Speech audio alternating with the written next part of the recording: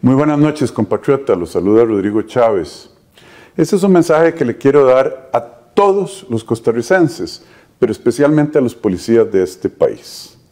Ayer se manifestaron algunos de ellos para demostrar que no están contentos con el anuncio que hicimos el miércoles pasado de un componente de la operación Costa Rica Segura.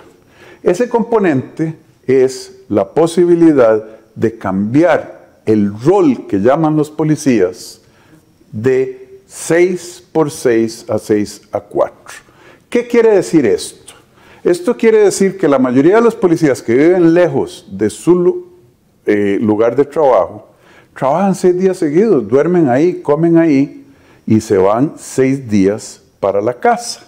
La propuesta era, por un periodo pequeño, temporal, ponerlos a trabajar 6 por 4.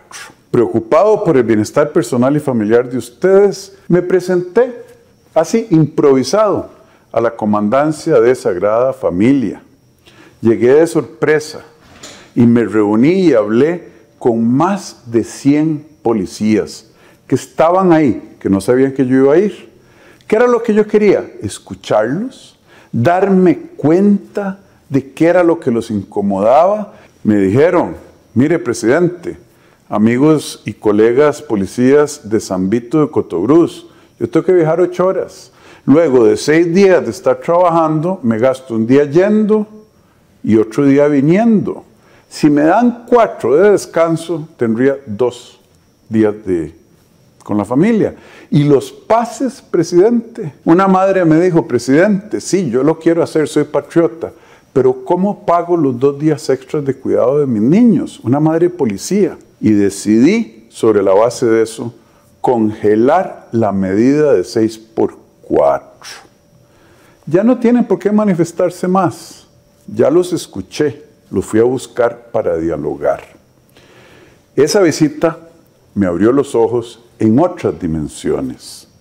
Pude ver las condiciones en las que viven, lo que comen, cómo están operando, los temas de las radiopatrullas, las botas, los uniformes.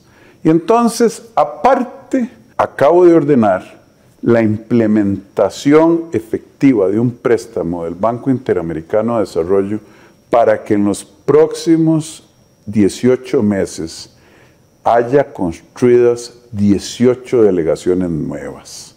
Yo no tengo ningún problema de suspender esta orden porque los oí.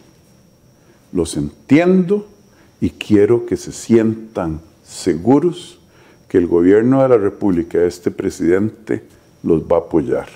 Uno de los momentos más emocionantes en mi año de presidencia fue que el oficial de operaciones de la Comandancia de Sagrada Familia me dijo, viéndome a los ojos, presidente, yo he servido 30 años a este país y nunca había visto a un presidente venir a hablar con la tropa. Eso me enorgullece. No sabía la situación, pero me enorgullece y siempre voy a hablar con la tropa, con el pueblo y con quien sea necesario para entender mejor las necesidades y limitaciones que tiene el pueblo de este país. Muchas gracias, muy buenas noches.